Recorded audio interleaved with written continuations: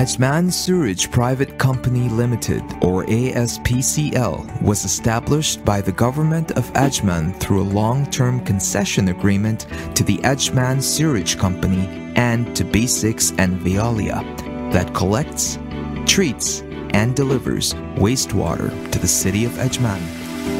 The plant's daily capacity can treat up to 140,000 cubic meters of sewage water.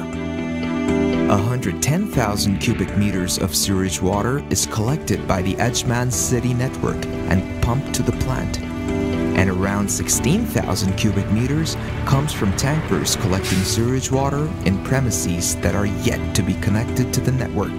The wastewater treatment plant, or WWTP, is composed by two systems in parallel called WWTP Phase 1 and WWTP Phase 2. Although both utilize similar processes, each uses distinct technologies to treat the wastewater. The preliminary treatment comprises of the removal of non-biodegradable solids and grit from the wastewater using mechanically operated fine screens and grit classifiers, which separate the solids and grit and transfer the screened and degritted wastewater, which is the primary effluent, to the secondary treatment.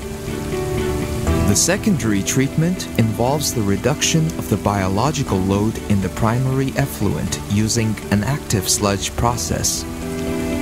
This process is similar in both phases, although phase 1 includes an additional anaerobic treatment step, the upflow anaerobic sludge blanket or UASB reactor before the activated sludge step, which removes a significant proportion of the biological load.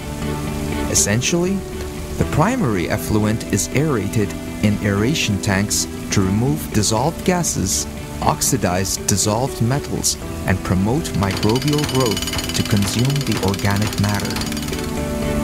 The secondary effluent then passes through clarifier tanks to remove solid particulates and suspended solids. The secondary treatment generates biogas, consuming largely of methane, and sludge, in which solids have been removed by the process, as byproducts. The tertiary treatment involves filtration and disinfection of the secondary effluent. Filtration is done to reduce the levels of dissolved and suspended solids in the secondary effluent and is achieved using deep bed gravity sand filters in phase 1 and mechanical rotary disc filters in phase 2. Disinfection of the secondary effluent in both phases is achieved using chlorination systems.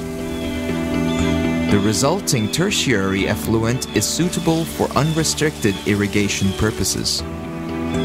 The tertiary effluent is used largely for municipal irrigation, for farms, for Al Zorah golf course irrigation, and for the operation of the wetlands adjacent to the WWTP, whilst a significant proportion is transferred to a nearby reverse osmosis filtration plant operated by Safi FZC, who refine the effluent and sell it on to off-takers. Ajman Sewerage.